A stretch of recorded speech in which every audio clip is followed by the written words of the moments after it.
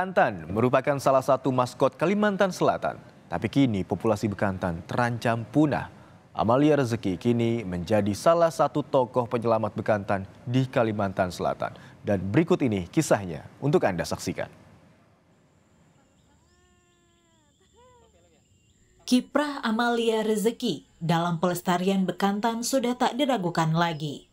Ia memilih mengabdikan dirinya untuk menyelamatkan bekantan yang terancam punah. Demi melindungi habitat bekantan, Perempuan yang menyandang gelar Doktor Konservasi Bekantan ini mendirikan komunitas Sahabat Bekantan Indonesia atau SBI. Komunitas ini ia dirikan saat masih berstatus mahasiswa jurusan biologi di Universitas Lambung Mangkurat, Banjarmasin. Bekantan adalah primata endemik Kalimantan yang juga menjadi maskot Kalimantan Selatan sejak tahun 1990 dan kebetulan saya juga orang asli daerah sini yang lahir tumbuh kembang di Kalimantan Selatan. Bekantan merupakan primata endemik di Kalimantan. Namun populasinya terancam punah karena berbagai faktor, mulai karena perburuan liar, alih fungsi lahan hingga kerusakan hutan. Dalam ekosistem, kehadiran bekantan patut dijaga karena menjadi spesies kunci yang menjaga keseimbangan lahan basah.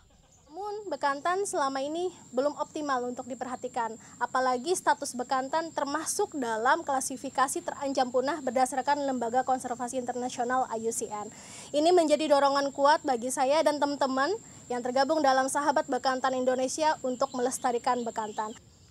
Habitat bekantan yang dekat dengan permukiman penduduk dan kawasan industri di jalur Sungai Barito mengancam keberadaan bekantan di Pulau Curiak, Kabupaten Barito, Kuala, Kalimantan Selatan populasi bekantan itu begitu cepat.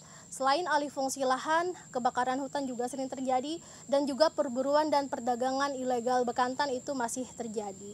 Perburuan liar yang dilakukan itu biasanya ada yang dikonsumsi daging bekantan masih ada.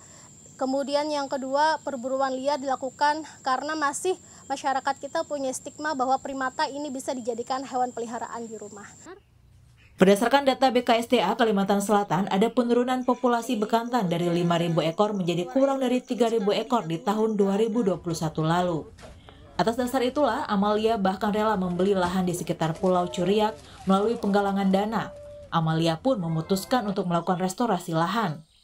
Restorasi dilakukan dengan menanami pohon mangrove rambai yang merupakan vegetasi bakau utama dan pakan utama bekantan.